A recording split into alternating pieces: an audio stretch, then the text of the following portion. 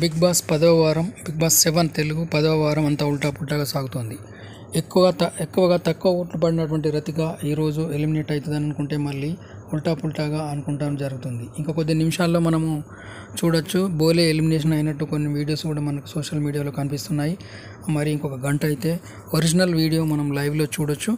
మనం ఏంటంటే అసలు బోలేను ఎందుకు చేశారని చెప్పేసి చాలామంది కామెంట్ చేస్తున్నారు సోషల్ మీడియాలో.